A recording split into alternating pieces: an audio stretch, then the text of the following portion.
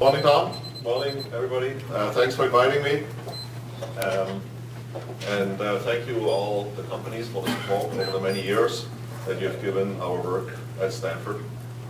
Um, we are proud to be part of the construction community and to make the constructed world and with that the world for everybody better. So when Tom and I talked about uh, preparing for this talk, um, he said, what do you want to talk about? And I think for me, um, in 2015, the big deal is automation. It has been for some time, but I think now it is really a big deal. And so I want to talk about that. And you might cringe when you see the title, Creating Thousands of Schedules to Find the Best One. Then I want to give a bit of a history and outlook of um, automated 4D modeling. I saw my first 4D model uh, at Bechtel's R&D Center in San Francisco in 1987, I believe, when they were building a 4D model for Hitachi power plant in Japan.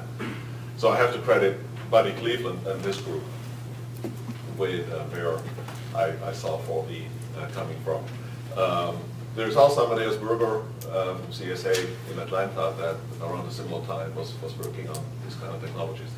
So if somebody else knows more about the history that goes before uh, the mid-80s, uh, then uh, let me know.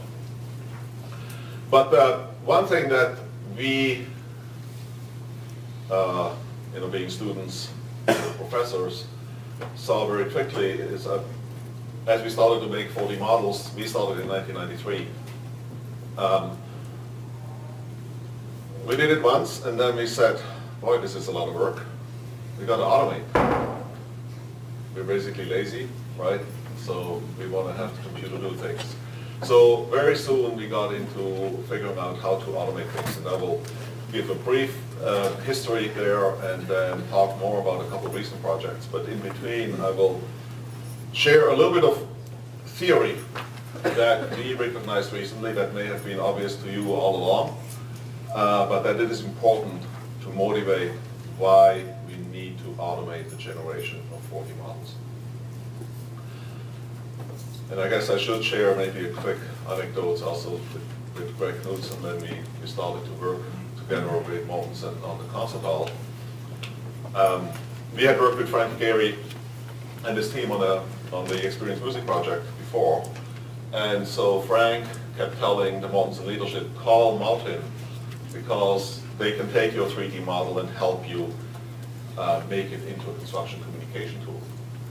And I think after a few of those calls, Greg thought it's easier to call me and be able to say, yes, I called Martin and we got together.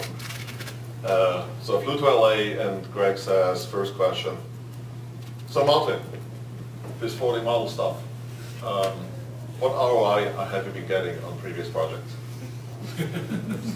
and I say, well, Greg, you know, the tool is really about better communication, better decision making, you know, faster cycles, uh, bringing everybody on the same page.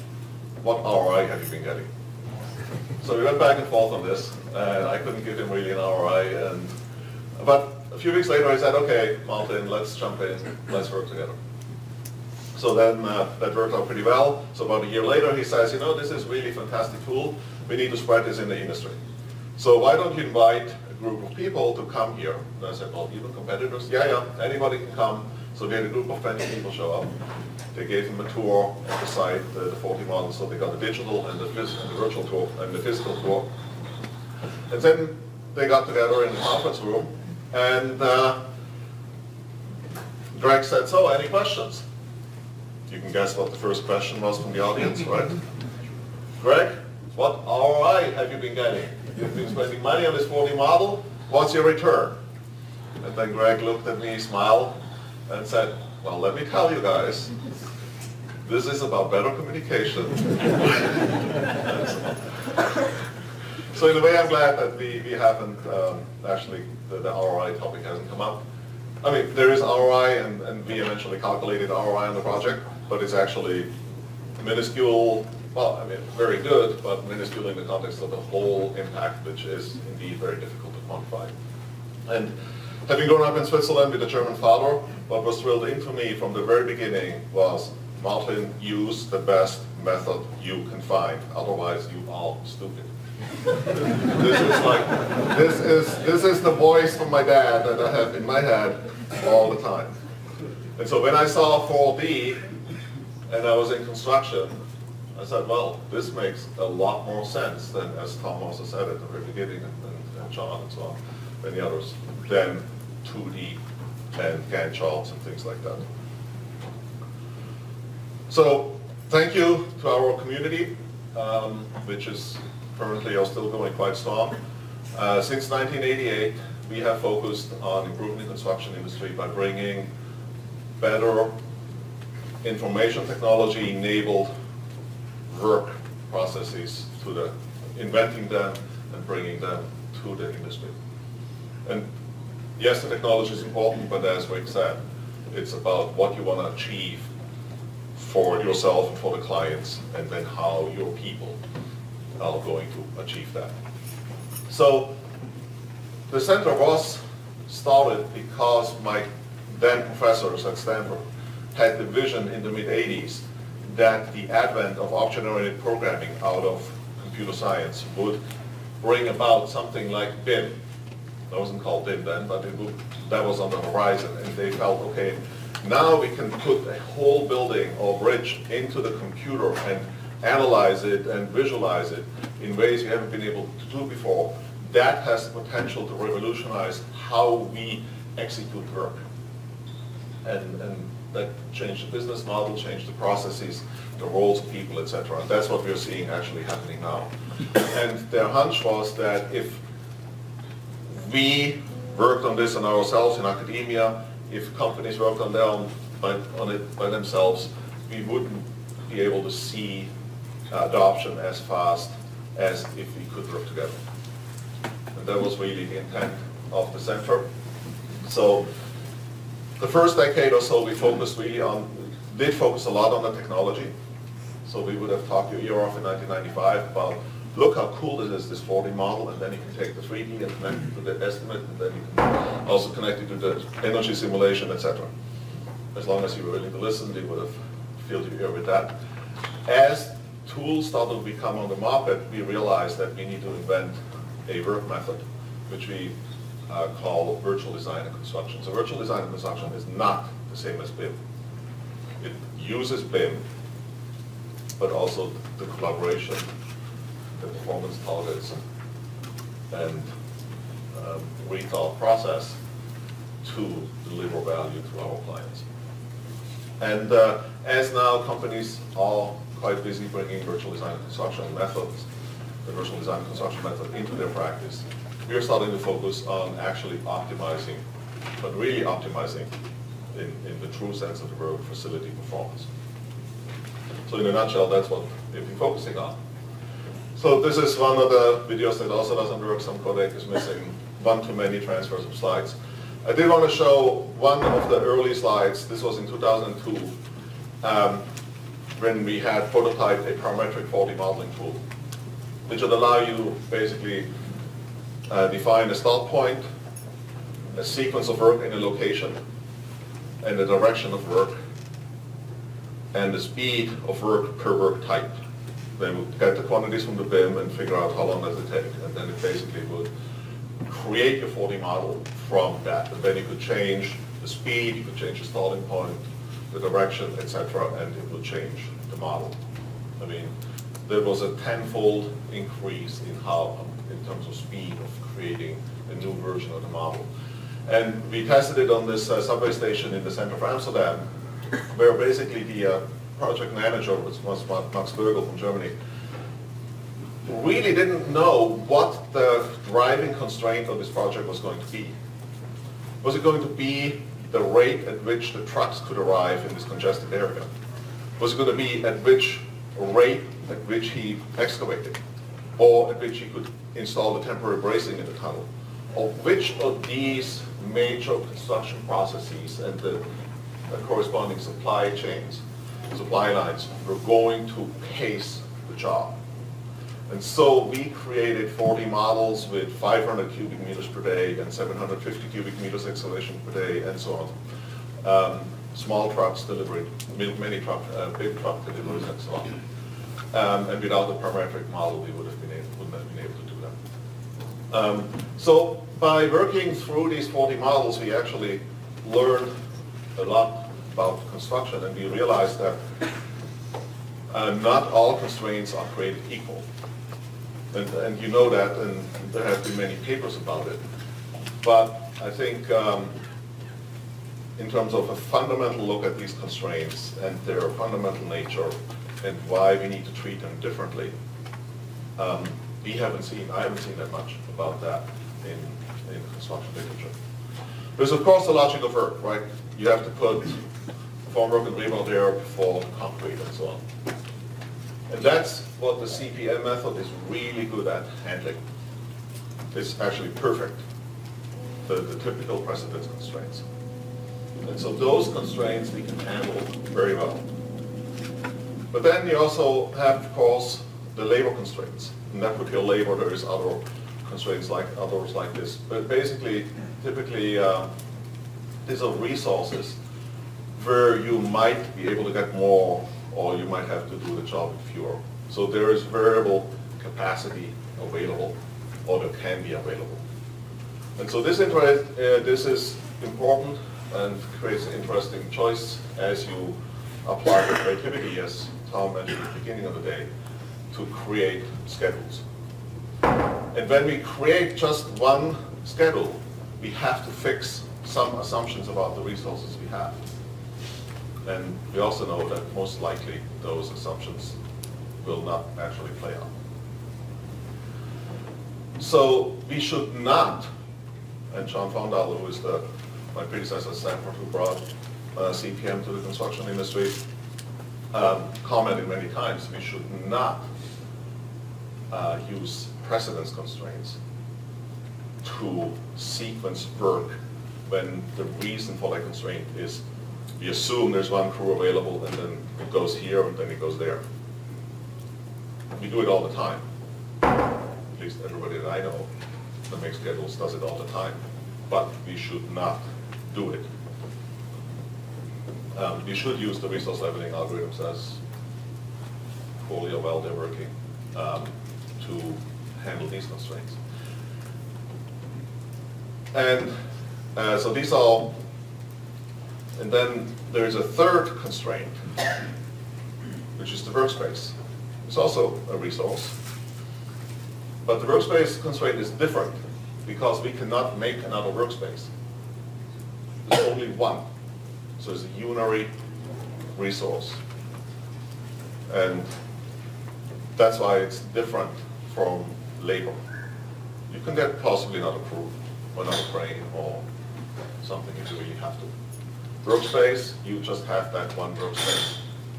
And surprisingly, that the most stringent constraint in our projects, and the, the constraint that really makes construction unique, is the least formalized constraint um, in terms of scheduling and planning. And scheduling planning might predicts the future and, and decides a path of allocating resources which determines whether we're going to win or lose. So I think it is pretty important. So I want to um, share a little bit more, just very briefly explain these constraints a little bit more, and then share two projects that we've done, uh, research projects, uh, that try to overcome uh, these challenges. So this is, I'll go very quick, and I'm just using a very simple example just to make sure that you really understand uh, the issues here. But when you have one crew available and you have four spaces you need to work in, then you can just say we go in one, two, three, four. And often they put a sequence constraint there. Uh, but in fact, we have 24 options, not just one, to sequence those four that work. So, yes, if you're a good scheduler, and in a small example, when something changes, you will realize, oh, wait a minute, I can do something different. But you are now left to the devices only of your scheduler, the tool itself is not helping you find a better solution. So that's what happens when we fix one of 24 solutions, right? When we have two crews, um, then there's 32 options in which we could employ them. Um, and when we have, say, three crews, there are 36 options in which we could use it. But these things vary all the time, so you can see even with a small example, it can become quite challenging to keep track of all of the options. In reality, of course, there's thousands, millions of possible configurations that you could actually pursue. And certainly some of them are better or worse than others. Um, so if, if we took a, an example here with four zones, uh, 10 activities per zone, and we scheduled it you know, in a hardwired way, your duration will always be, in this particular case, 148 hours. If you don't hardwire it, and then different crews become available, you might have started assuming there's one crew, but all of a sudden the second crew is available, you can actually find dramatically better solutions. Uh, but if you have hardwired sequence constraints, again, the tool does not help you see those solutions. You might see them, or you might not. So we found 4D models to be really very, very effective to help understand that, even though the sequence constraints may may have been hardwired in, as uh, the resource constraints may have been hardwired in, because you can see um, where work sits idle for a while, where um, the follow-on work isn't coming soon enough. You can see open spaces, etc., where you can possibly schedule more work and speed up the, the project. So this was in 2001, a case we did with DPR on the Bay Street project in Emeryville, where we went very rapidly every lunch, brought the superintendents and foremen into the trailer, um, played the latest 4D model, got ideas for making it better, came back the next day with the, uh, with the new model. And in that process, over about three weeks, we are able to find a way of uh, shaving the time off the schedule that allowed them to open in November instead of January, which for a shopping center was of some importance. Um, so then when you go to the workspaces, right, um, if we break it up into zone A and zone B, which we often do, then you have basically two ways in which you can sequence that. If you are able to schedule things at a final level of detail and say work with the eight rooms, then there's many different options, actually 80,000 and some. Um, and that's why obviously we may not want to get into it doing this manually. We would need some device that can manage information, like a computer, right? So if we could actually use the computer, we could actually manage this complexity on our own. I'm not suggesting that we create 80,000 different options, um, but the computer can do it. So this is what we did. And again, you can see the dramatic time savings when you fix your sequence of workspaces versus when you don't fix it and are able to more flexibly interweave the work areas at a smaller scale, uh, take advantage of the availability of workspace when it shows up. So just, you know, a very small example, two activities, eight zones, one to three crews, gives you over 124,000 possible schedules actually feasible schedules. Um, so the scheduling space is very vast. And what I would suggest and what we've seen in the design space, when we can combine your intuition, your experience, your knowledge with the power of the computer that can sift through 124,000 options, then you can find truly great solutions. So um, first project where we were able to automate um, some of the generation of, of, schedules was in the look-ahead scheduling phase for the, the fit-out phase or build-out phase for the Carnegie Mellon University campus in Doha, Qatar. There are 12 types of crews, 210 rooms per floor, 20 operations per room, construction operations per room on average. So the superintendent was pulling his hair out every day saying, where do I send my crews? Yes, I need to finish an area in a particular time because the client is coming. I need to finish a full job at a particular time. I need to stay on the budget. I need to be safe, etc. I need to work with who is available. And so he basically had to shoot from the hip every day. He didn't really have a tool that helped him. So basically he wanted simply a plan that showed where is each crew working each day. And uh, so we created what we, what we call these fragnets.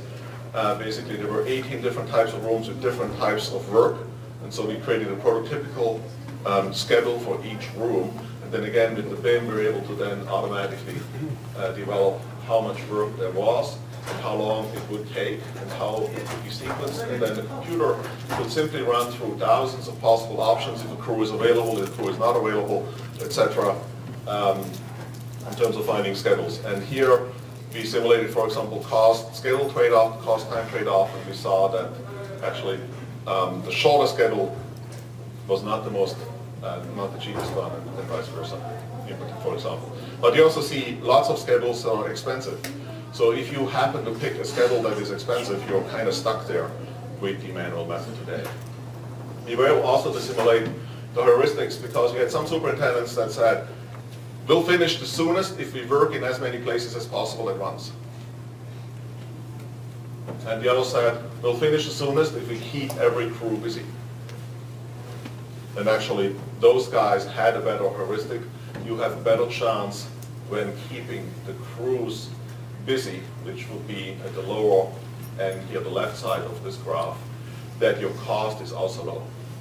Versus when you worked in many different areas, you can see that there is cheap schedules and expensive schedules um, with the same uh, level of space usage.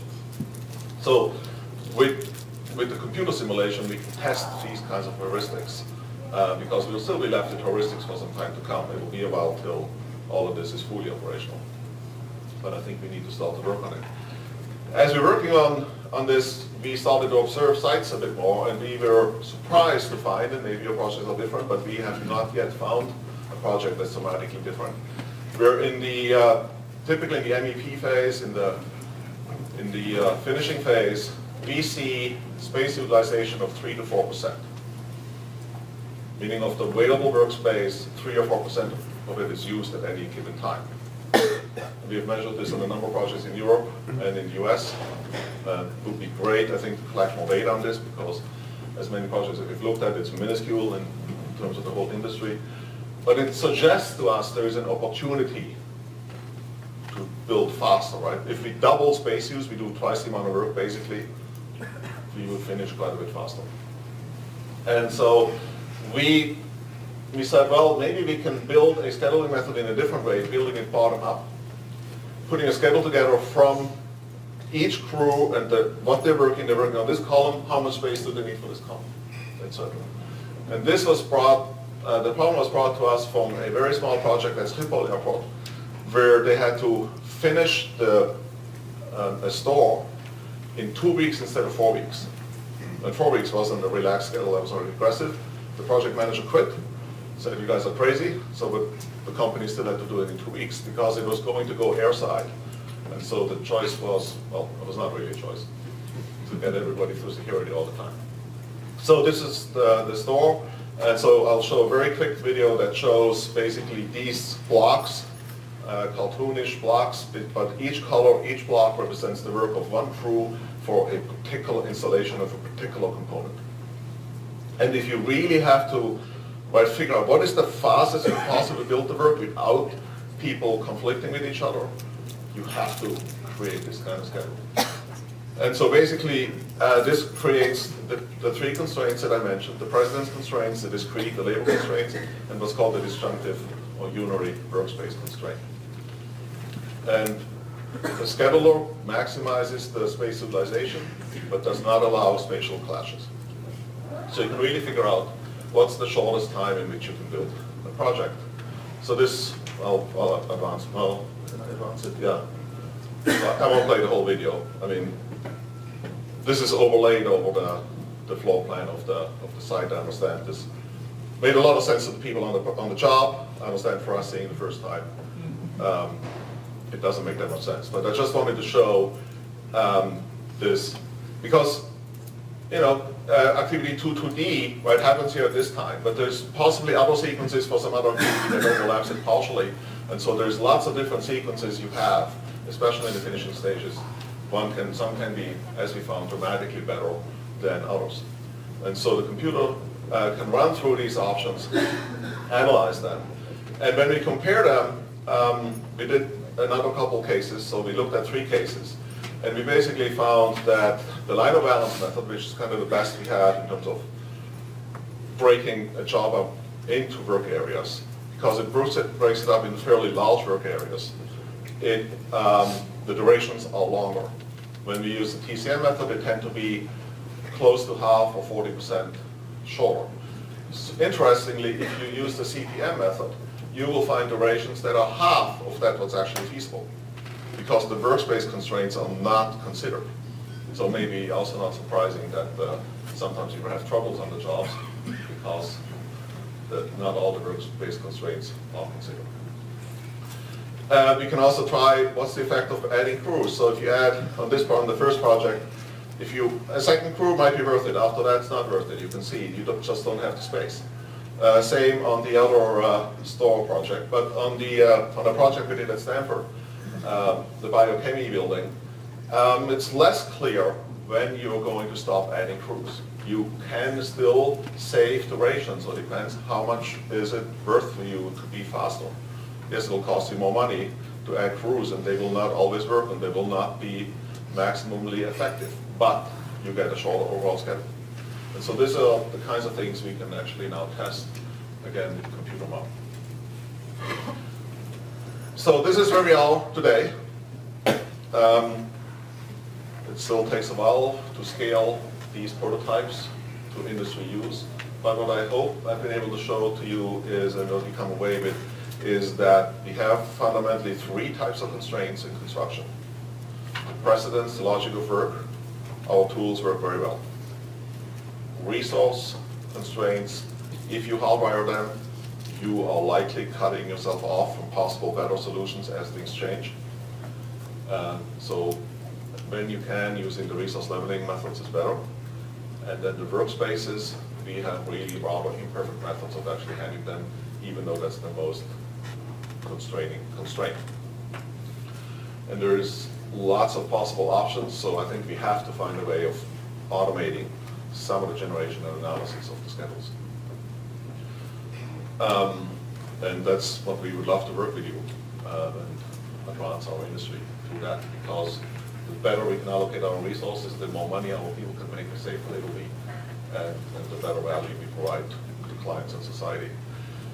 So just broadly speaking, on to end with a couple broad points. Um, I still need to actually track the first quote down because I re-quoted it from a talk I heard uh, from some guys from Georgia Tech. Um, But uh, there seems to be this guy, Alan Perlis, and it's kind of pre-internet, so it's not so easy to find these things, but apparently in 1961, he said something like, the automated execution of processes changes everything. And I think that is the opportunity and the danger that you have, we all have, um, in our industry, because we haven't automated very much. And I have to believe somebody from the seven plus billion people will figure out how to automate some of the things we do. And then it's not fun to compete with them.